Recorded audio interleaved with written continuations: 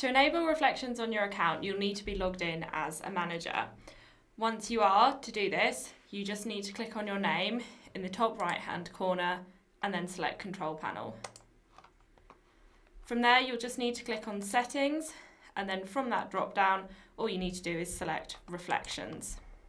Here you can see we've already got this enabled, but if you don't, you just need to put a tick in the Enable Reflections box.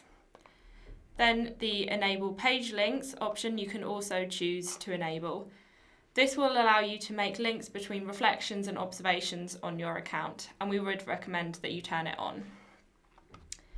Once you've done that, just remember to press save to save your changes. The next thing that you'll need to look at is enabling flags. Flags are just a way of telling you what your reflection is about.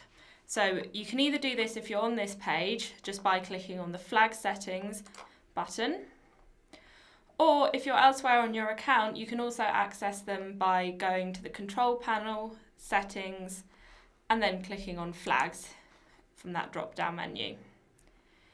Here you can see all of the different flag types that we've got available on Tapestry. And to turn them on, you just need to put a tick in the enabled box and then at the bottom you can save. Each flag set contains many different types of tags, so if you want to view what these are, you can just click on that blue View Flags button. And in that pop-up you'll see all of the different flags that are contained within that set. So that's how to enable reflections on your Tapestry account.